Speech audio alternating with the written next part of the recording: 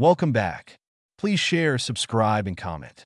The Asymmetric Warfare Group was a United States Army Special Mission Unit created during the War on Terrorism to mitigate various threats with regard to asymmetric warfare.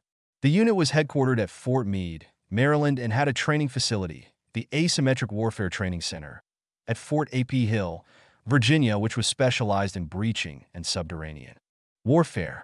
The unit provided the linkage between Training and Doctrine Command, TRADOC, and the Operational Army, and reported directly to the commanding general of TRADOC. In March 2021, the AWG held a casing of the colors ceremony and officially deactivated. Organization The Asymmetric Warfare Group was made up by a headquarters and headquarters detachment and four squadrons. Able Squadron Operations, Baker Squadron Operations, Charlie Squadron Operations, Dog Squadron Concept Integration, Easy Squadron Training. Each squadron was commanded by a lieutenant colonel and subsequently divided into troops, each commanded by a major.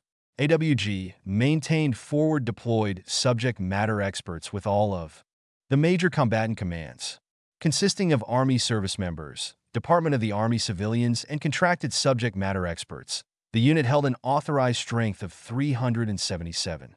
Mission The U.S. Army Asymmetric Warfare Group, AWG, provided operational advisory assistance in support of Army and Joint Force commanders to enhance the combat effectiveness of the operating force and enable the defeat of asymmetric threats.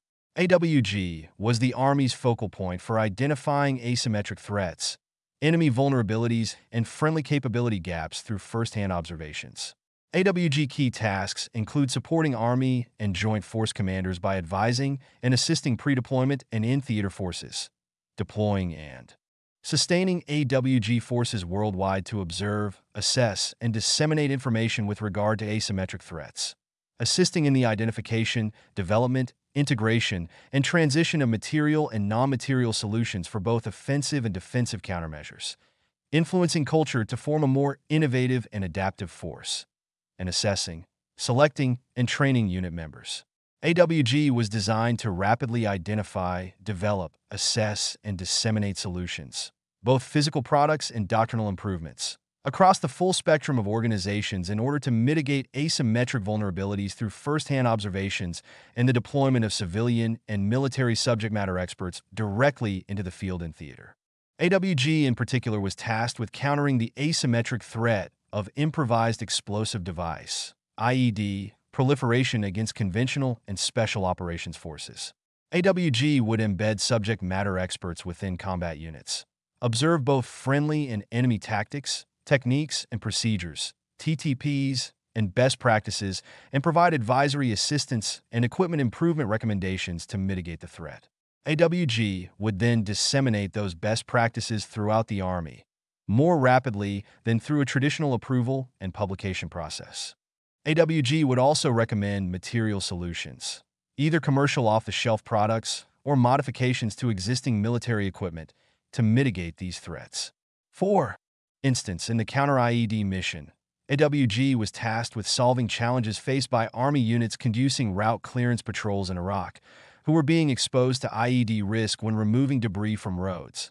As a material solution, AWG developed tools such as Iron Scrape to rapidly clear the debris and remove the potential IED hiding spots.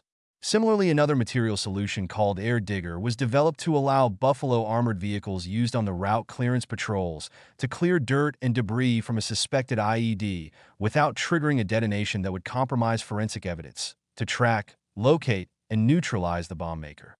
AWG also regularly deployed in support of SETS and assisted with the training of foreign SOF Forces and Foreign Internal Defense. History The U.S. Army Asymmetric Warfare Group, AWG, was charged with identifying Army and Joint Force capability gaps to DOTMLP and developing solutions to those gaps. It further seeks to identify enemy threats and develop methods to defeat those threats. 2016 marked the group's 10th anniversary. In January 2006, the AWG was established as a field operating agency under the operational control of the Deputy Chief of Staff, G3-5-7, Headquarters, Department of the Army. The AWG was activated on March 8, 2006, at Fort Meade, Maryland. The AWG was assigned to the TRADOC on November 11, 2011 as a direct reporting unit to the commanding general. The assignment to TRADOC enabled enhanced cooperation with the Army Capabilities Integration Center, Combined Arms Center, and the Centers of Excellence. Since 2011, AWG had experienced a significant growth in operational advisory support missions and activated its third operational squadron in 2013.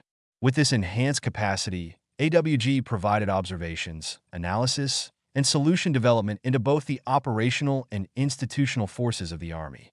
AWG's operational advisors deployed globally to complex operating environments to understand the current and emerging challenges to anticipate the character of future conflict. While their focus was on assisting the operating force, they ensured that any lessons learned were passed to the institutional army for long-term integration and to enhance the development of our generating force.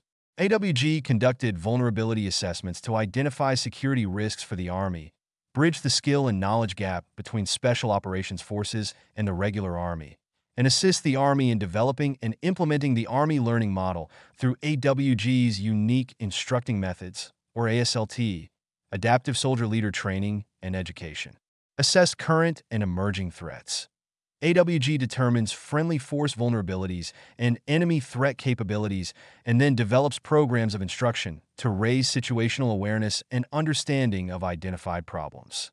AWG then seeks to integrate the programs of instruction into combat. Training Center, e.g., National Training Center, rotations, as well as in-theater joint reception staging onward movement and integration, JRSOI, training. JRSOI is the process that transitions deploying or redeploying forces, consisting of personnel, equipment, and material into forces capable of meeting the combatant commanders, CCDRs, operational requirements, or returns them to their parent organization or service. In addition, AWG evaluates engagement tactics, techniques, and procedures, TTPs, and works with the Fires Center of Excellence to institutionalize its findings. AWG has also created a compendium of Islamic State of Iraq and the Levant, ISIL, techniques and procedures, probable scenarios, and ways to counter them, which are distributed in theater and are available through the Center for Army Lessons Learned CALL. AWG developed a similar product addressing Russian hybrid warfare based on Ukraine. Understanding a complex operating environment, through AWG support to regionally aligned forces and special operations forces, they identified the requirement to bring jungle skills back into the U.S. Army. AWG incorporated lessons learned into the 25th Infantry Division in Lightning Academy and created handbooks for CALL. In addition, observations and trend analysis from globally deployed operational advisors identified the requirement to raise awareness of tunneling and subterranean operations. AWG created handbooks and references for distribution by CALL. AWG continuously deploys operational advisors in support of theater security cooperation plans and events to identify how the complex environment is changing around the world. A handbook was developed by AWG after working with Combined Joint Task Force. Horn of Africa to inform future leaders and planners of the operational challenges a CJTF has in an environment where the Department of Defense DoD, is not the lead agency. On October 2, 2020, it was announced that the Army planned to close the AWG by September 30, 2021. On May 13, 2021, the AWG officially deactivated.